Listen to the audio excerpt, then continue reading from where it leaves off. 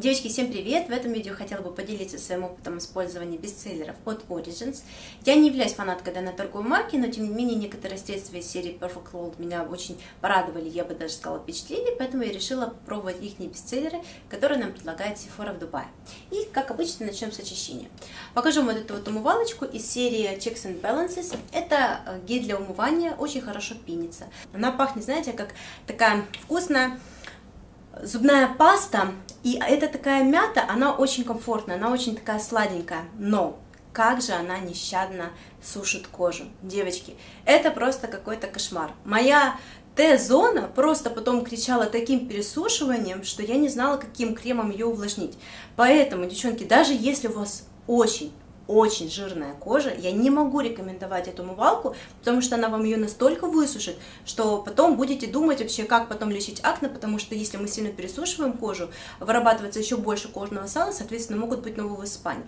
Поэтому вот эту вот умывалку, несмотря на то, что это их не бестселлер, я, к сожалению, никак не могу рекомендовать, потому что она очищает кожу не просто до скрипа, а до такого скрипучего скрипа, если можно так выразиться, что ну, это совсем не здоровый эффект, поэтому я эту умывалку никак и никак не могу советовать. Дальше, лосьон. Лосьон этот из серии Mega Mushroom, и это такой увлажняющий, успокаивающий лосьон. И, девчонки, если вы смотрели мои предыдущие видео, я думаю, что уже знаете, да, что я не люблю лосьоны. Я не люблю ими пользоваться, потому что после лосьонов у меня остается какая-то такая легкая пленочка, мне хочется умыться, и получается, что лосьон, да, вообще не имеет смысла наносить, хотя даже мой косметолог говорит, что лосьонами нужно и важно пользоваться. Что касается конкретно этого лосьона, у него достаточно приятная душка, и он на самом деле не оставляет какую-то такую пленку э, или какой-то липкий эффект, после которого хочется реально умыться или еще что-то такое. Но сказать, что это вот, знаете, такая штука, которая абсолютно незаменима, и э, что после этого средства я заметила какие-то просто очень классные изменения на моей коже, нет. Ничего такого не было. Если вы любите лосьон, можете попробовать этот. В принципе, он неплохой, он не пересушивает кожу, он ее не стягивает. Э, в принципе, я не защитила никакой какой-то такой пленки или липкого эффекта, еще раз повторюсь.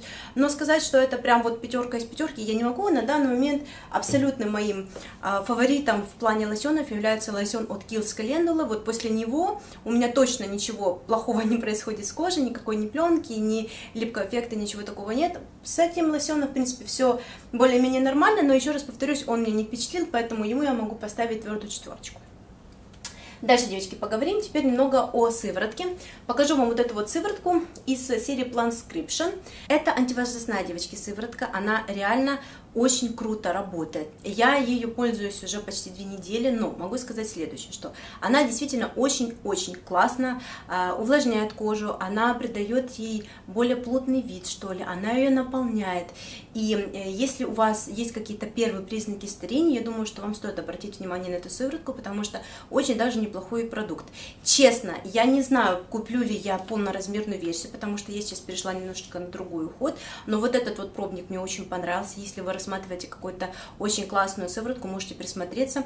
Э, в этой серии действительно антивозрастного эффекта, там есть интересные продукты, можете посмотреть. Что касается именно этой сыворотки, она мне точно понравилась, я могу ее смело рекомендовать. Если у вас сухая кожа, я думаю, что после этой сыворотки нужно будет наносить какой-то более плотный увлажняющий крем. Если у вас комбинированная кожа, как у меня, или, допустим, жирная, я думаю, что после этой сывороточки можно будет наносить какой-то легкий крем-гель, и я думаю, что ваша кожа будет очень и очень довольна. Во всяком случае, мне эта сыворотка очень понравилась, я могу ее рекомендовать.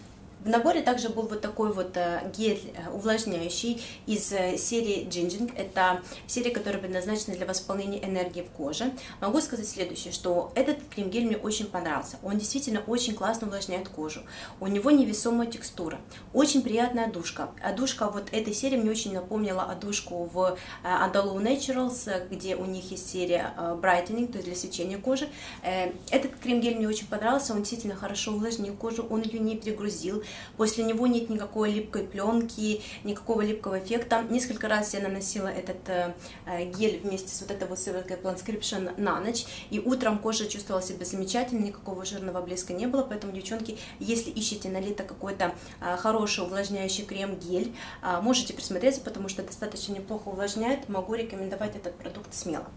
И в наборе также была вот такая вот единственная масочка, это маска с углем. Она, в принципе, мне понравилась, у нее достаточно приятная такая кремовая консистенция. Она легко наносится. К моему удивлению, приятному, да, очень даже неплохо чистит пор. Поэтому, если вы хотите попробовать какую-то достаточно неплохую маску с углем, можете присмотреться к Origins. В принципе, неплохой продукт, очень хорошо очищает кожу, она не пересушивается, кожа в смысле.